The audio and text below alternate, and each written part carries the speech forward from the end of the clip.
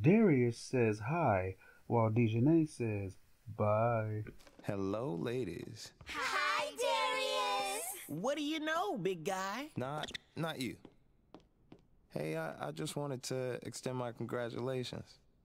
Ou bien disquete. I don't know what you just said, but back at you. And you, Dijonay, were beyond description.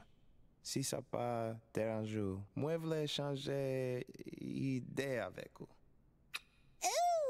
Ooh, I would love to. Dijonay, what did he say?